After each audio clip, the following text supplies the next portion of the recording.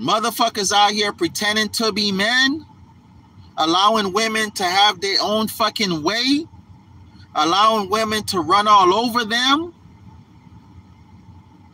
Motherfuckers out here catering to a woman's every fucking emotion and feeling. That's why these men be having high blood pressure, diabetes, heart attacks, dying early, can't get their dick up, all kind of shit. Cause you letting a woman run the fucking show like a dumbass. How is God gonna? How the fuck? Think about this.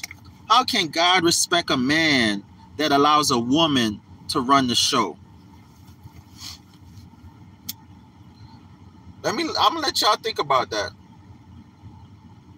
If you were God and you are God, would you respect a man that allow a woman to run her own show when you told that man you are the head of the household. I'm holding you accountable. So if she get out of fucking line i'm, I'm gonna come to you the man and ask you why the fuck is your wife out of line? I told you you in charge. You the manager. Why your employees out of line? But if you as a man Tell your employees, tell your woman, not to say a woman is an employee, but y'all know, know what I mean. The woman is covered by the man. Okay? If if my truck, I'm inside this truck, this truck is covered by me. This truck protects me. It got a roof, it got doors, it got everything. It protects me. Okay? From the elements and somebody might whatever, right? This truck is like a man Everybody in this truck is protected. So the woman is inside the truck, the offspring is inside the truck, and the woman is making sure the offsprings are around here and they're they're protected. Okay? So I'm telling y'all, it's a structure. It ain't just all willy-nilly.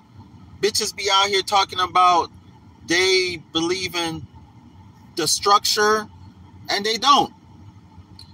This is this is this is what's going and and there's memes and stuff right now.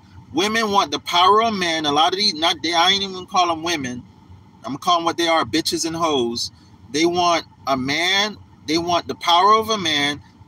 They want the benefits of a woman and the accountability of a young offspring. Okay, they still want to have all the benefits of being a woman.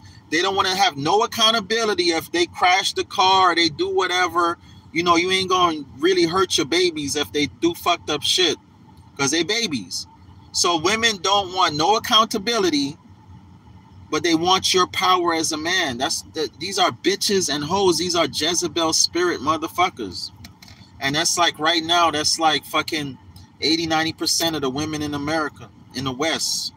It's fucked up.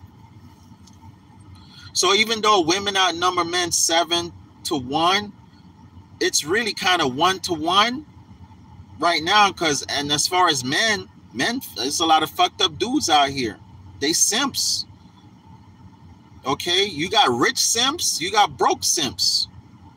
It don't matter. A simp is a fucking simp. Like the dude the football player that had a baby with the um with the um porn star. I, I forgot his name he had a baby i think he married her to a porn star.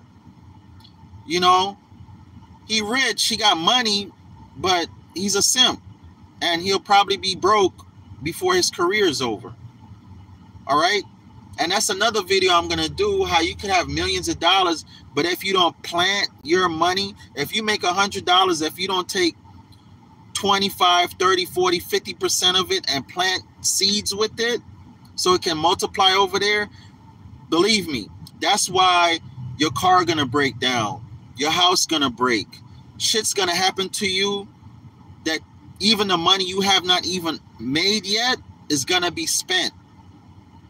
This is why you're broke. This is why god don't give you the increase as a man because you making your thousand dollars a shift or a week you paying your bills some of you and you taking a rest and buying pussy giving it to bitches and hoes okay so now you did that by friday come Monday, you go crank up your car, your alternator bad. Because the universe say, I'm giving this motherfucker money, but he out here buying pussy. Okay.